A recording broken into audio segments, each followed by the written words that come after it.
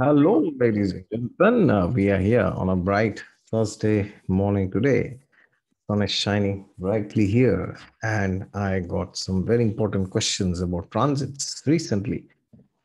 One of the questions is, uh, of course, I've made many videos on transits, but uh, still I get uh, keep getting these queries. You know, my dasha is saying something, and my transit is saying something. What will happen when there's a clash between a dasha and a transit?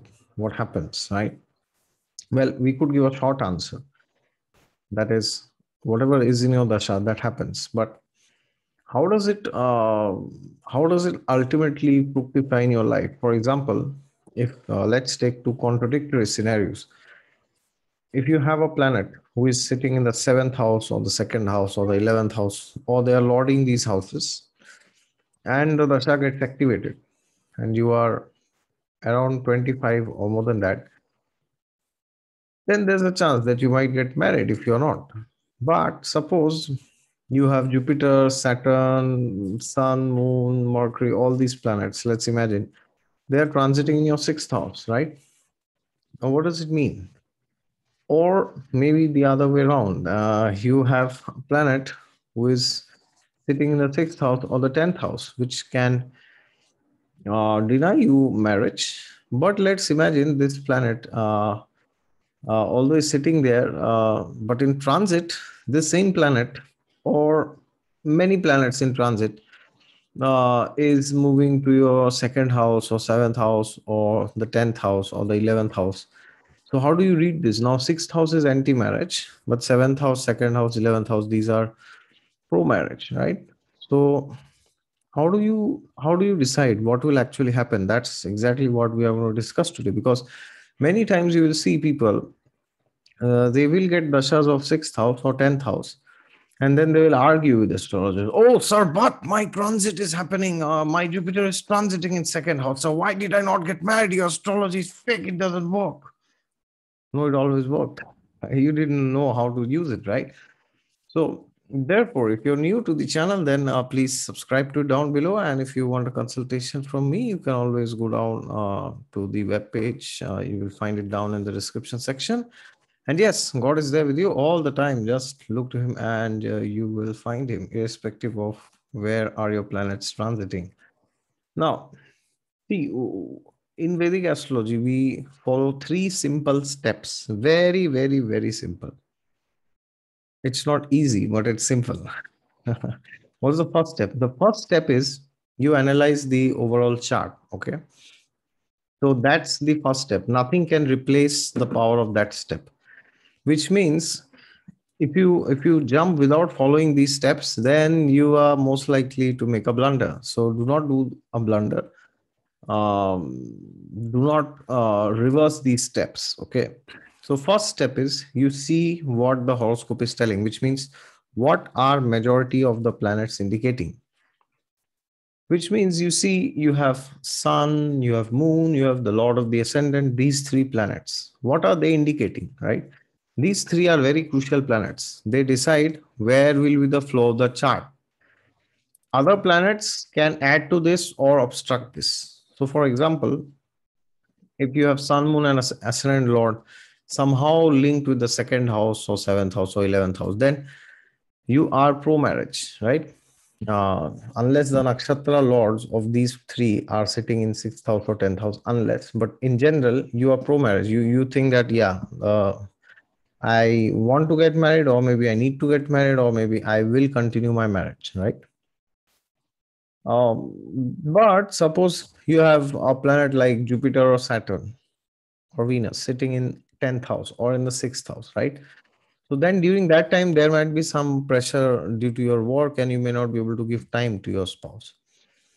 Uh, but if prominent planets are sitting in the sixth house or 10th house, then you may not want to get married you may feel that oh marriage is not required maybe i am better off uh, single and then if you have planets like venus jupiter saturn mars rahu ketu if they are you know in second house seventh house 11th house unless a lot of planets are there in these three houses then um, uh, you you you will still uh, not feel that it's worthy to get married or if, if i should get married okay But yeah, that's if if if as I said, if Venus, Jupiter, Saturn they are in seven, you might feel uh, that yeah maybe I can think of marriage. But because your prominent planets like Ascendant Lord, Sun, Moon, they are in houses which are negating marriage, so you will not actually want to get married internally. Okay, depending on other combinations in the chart, of course, conditions apply.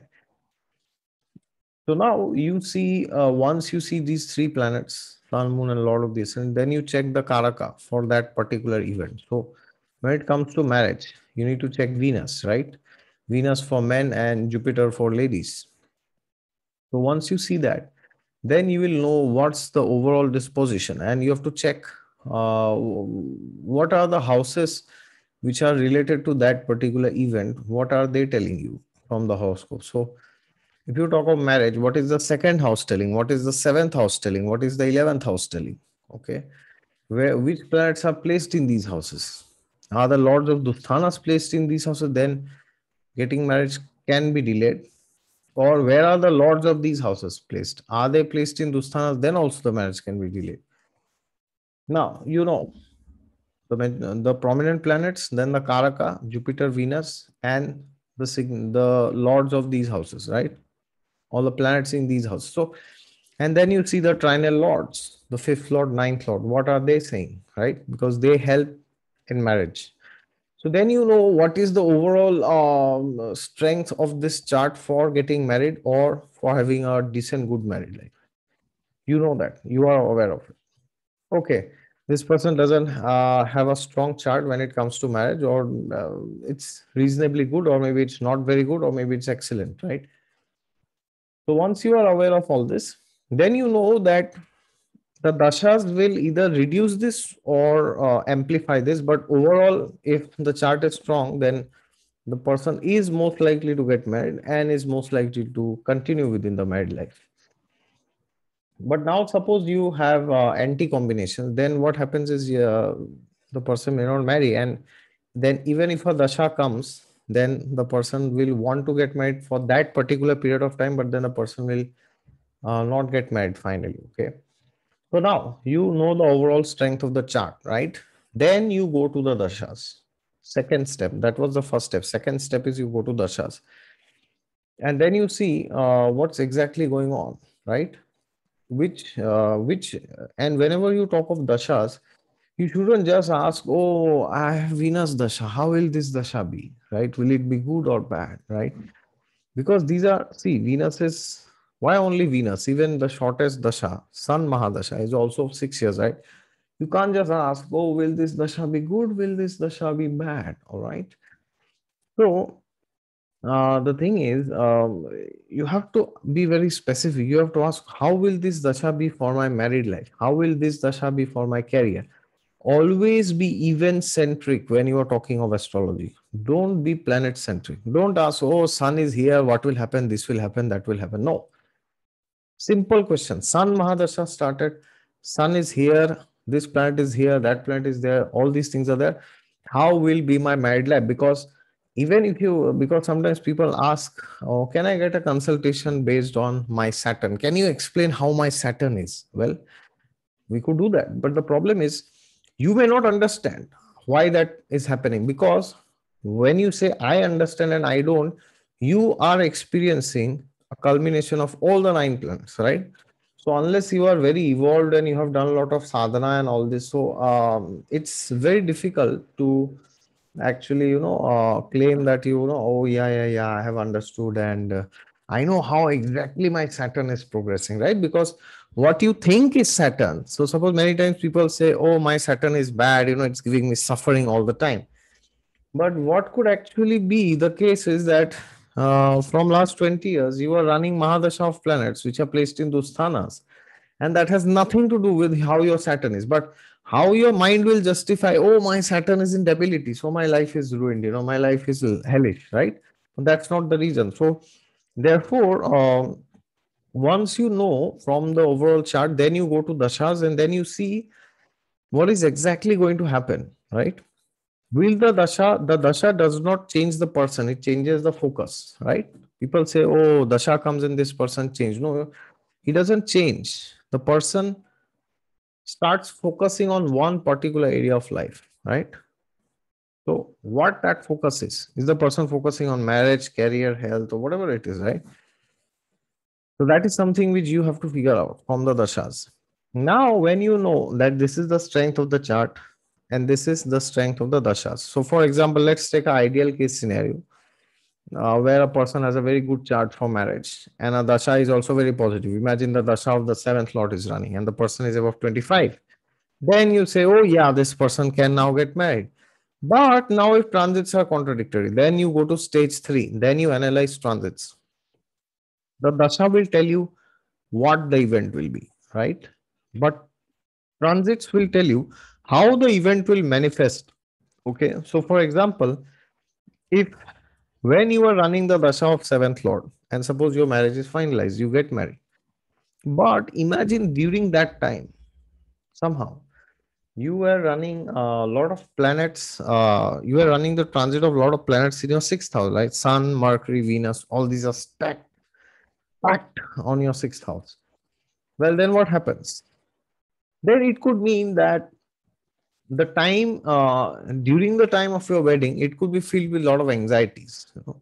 or it could be filled with problems like you are not able to book a reception hall or you know you are not able to find somebody some pandit or pujari or you know there could be some problems some setbacks some disappointment. But the marriage will ultimately happen. The wedding has to happen because dasha is promising. The, the transits cannot override okay but imagine the person's horoscope is not very strong for marriage.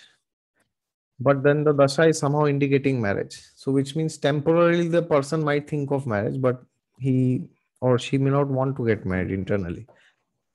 And then there is a bad transit, right? Then the chances of uh, the marriage not fructifying or the wedding not happening is quite high because the overall chart is indicating that, oh, just find some excuses not to get married. Okay. But even then, if a chart is decent, strong for marriage, and a dasha is positive, even then if the transits are negative, it cannot stop you from getting uh, you married. Okay, it cannot stop it. But it's just that you might find excuses. Oh yeah, yeah. Anyways, this person is not good. You know that family is not good, or maybe anyways I didn't want to get married. Let's cancel it off. But if your dasha is positive for marriage, uh, the wedding will happen. Okay. Same is with career. Imagine you are running dasha for 10th house or 11th house. And then your 8th house uh, has too many planets in transit right? So then what can happen is the promotion will be there. You will get a new job or you know you will get a big salary imp- increment or you will expand your business. Uh, but the thing is um, it might happen very suddenly all right? So the transits can speak of the nature of the event. So there could be contradictory things but ultimately what is there in your dasha happens and the transits can give uh, give you a flavor of how that is turning out at the end of your life okay? Uh, so do not think that if you are running the dasha of the second, seventh house and your sun mercury venus is transiting the sixth your marriage will be called off. Because many times i say that okay this dasha is promising marriage but then the person uh, the client asks me that, but sir, at that time, you know, my sun, Mercury, Venus, you know, you know, sir, you know this, you know that, you know, you know, you know, all the you knows keep coming, right? Because most of the people uh, who come to astrologers through YouTube, they have seen, you know, sun in first house videos, you know, moon in first house, Mars in first house. And then they think, oh, or, or they have seen, you know, transit videos, especially those who come from the Western astrology because uh, in Western uh, tropical astrology, there is hardly any concept of dashas, right? So they think transits are all in all. So then uh, it becomes a very tricky situation where you have to kind of explain the person, and the person is very rigid and reluctant because he or she has been seeing YouTube videos from last 10 years on you know transits or individual planetary placements, which doesn't work at the end of the day, right? Because everybody has a different chart and every flow is different. Okay. So once you know all this, then you see, all right, these are what the transits are saying. And that is how the promise of the dasha will fructify. Okay. And if, if you have things which are similar, like a planet is in seventh, whose dasha is started, you're 25 plus, and Sun, Mercury, Venus, Jupiter, Saturn, these are transiting in houses which promise marriage, then the event will happen very easily, very seamlessly, very beautifully. Okay. Same is with career promotions. Okay.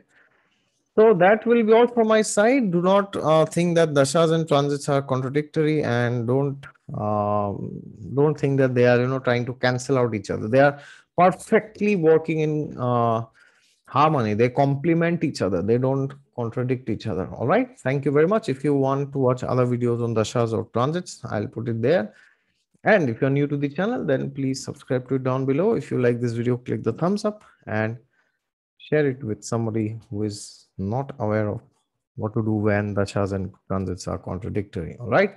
God is there with you all the time. Just look to him and you will find him, irrespective of how good or bad your dasha or transit is. Thank you.